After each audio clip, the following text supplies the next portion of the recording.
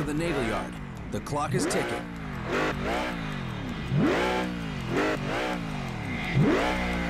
Thank you.